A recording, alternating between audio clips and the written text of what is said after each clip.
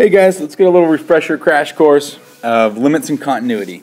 So I think we're all set on the word continuous. Uh, continuous meaning that we can draw the function without lifting our pen off the paper. So uh, an example of something that's continuous, you know, anything that we can draw without having to lift our pen up off the paper. Now, if a function is discontinuous, we have three types of discontinuity. Jump, removable, and infinite discontinuity. And if we're looking at this picture, um, if I have a jump discontinuity, it would be a place where the function jumps from one place to another. So as we see as we approach 4, the function jumps to a different part, to a different piece of the, of the graph. So this jump continuity here at x is equal to 4. This removable discontinuity. Removable discontinuity can be thought of as like a hole in the graph. So we have removable discontinuity because there is no point when x is equal to 2, but we could remove that discontinuity by just filling in that hole. So we have removable discontinuity at x is equal to 2. And then infinite discontinuity. Infinite discontinuity is something where um, the functions are going to the two separate infinities. So infinite discontinuity would be at x is equal to 1. Now, the next thing after discontinuity is if the function is discontinuous, we try to find the limits. Uh, we have one-sided limits where we can approach an x value from one particular side. So if we approach uh, 1 from the left, so as we go to 1 from the left, the function is going to negative infinity. As we go to 1 from the right, so now approach an x value, so we're getting as close to 1 as possible, but from the right, the function is going to infinity. Now, since these two things are not equal, we the limit as x goes to 1 does not exist. The limit as x goes to 2. So as we get as close to 2 as possible, as we get as close to 2 as possible from the left, it's going to this y value of 4. Now there is no y value there, but the limit is 4. As we go to 2 from the right, same idea, we're getting as close to 2 as possible from the right side of 2.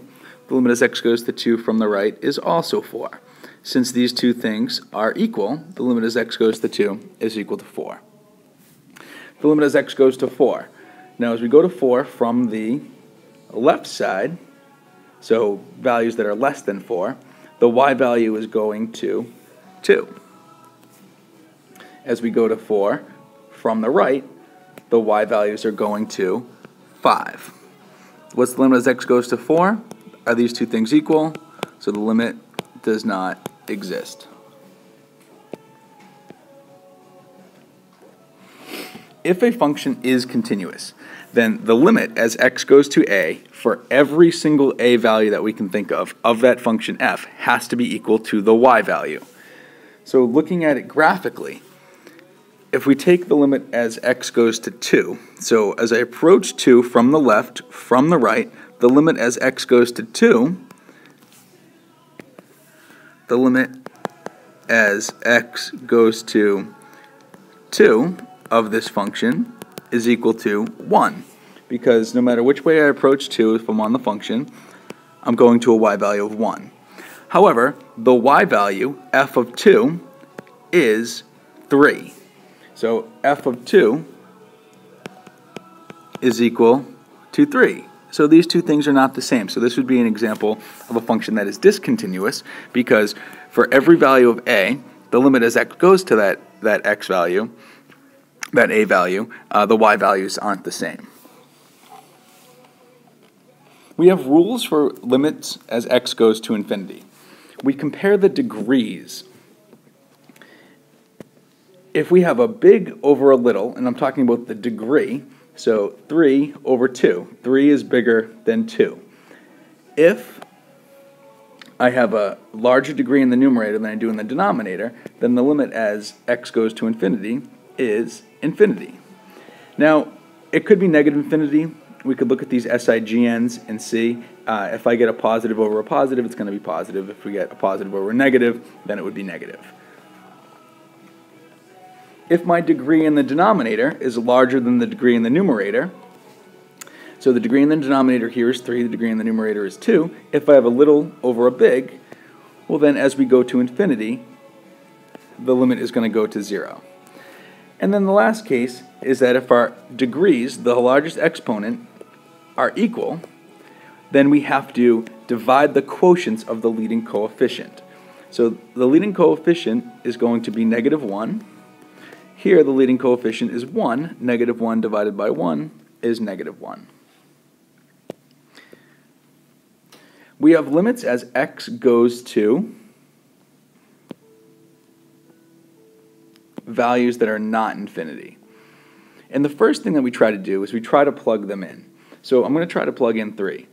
I would get 3 minus 3 over 9 minus 6 minus 3, 0 over 0.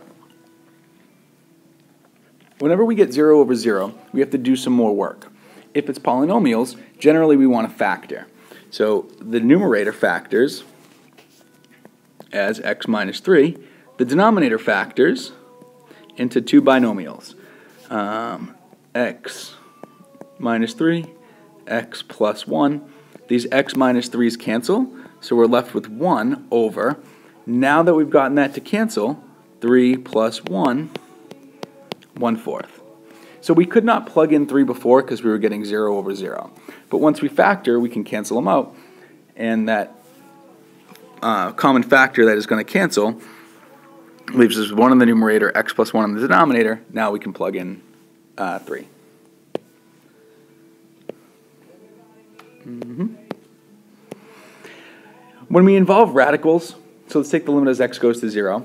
Again, we always want to try and plug this in. So we'll plug in 0.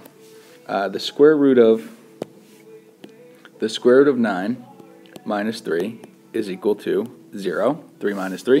And then if I plug in 0 down here, again we get 0 over 0. Now the trick, if you want to call it that, when we work with radicals, is we want to rationalize. And it doesn't matter if we rationalize the numerator or the denominator, but we want to rationalize. So I'm going to multiply this by the conjugate, the square root of x plus 9 plus 3 over the square root of x plus 9 plus 3.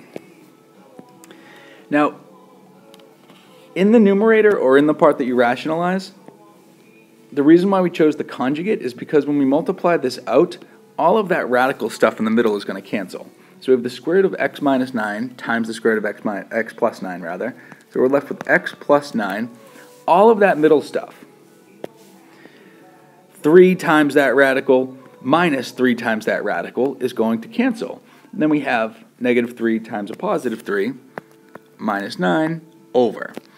In the denominator, it's really going to be to our benefit if we do not distribute anything out in the denominator, but leave it as the product of the denominator times that conjugate. Now when we look at this, we get 9 minus 9 in the numerator, so that cancels. We're left with an x over an x. This is going to cancel. 1 over now we can plug in 0 because we were getting that to cancel out. So the square root of 0 plus 9 plus 3 is equal to 1 over 3 plus 3, or 1 sixth. And lastly, wrapping it all together, is this function continuous? So if the function is continuous, the limit as x goes to 4, I'm sorry, doing so good. The limit as x goes to 1 of f of x will equal f of 1. Well, the easy one to find is f of 1 because when x is equal to 1, the function is equal to 4. So f of 1 is equal to 4. And so we want to see, does the limit as x go to 1 equal 4? Well, if we try to plug in 1, so trying to plug in 1, 1, 1, we get 0 over 0. So the limit as x goes to 1 of, now difference of two squares, x plus 1 times x minus 1 over x minus 1, These guys cancel. 1 plus 1 is equal to 2. So the limit as x goes to 1 is equal to 2. 2 is not equal to 4. So is the function continuous? No. All right, guys. Have the best day ever.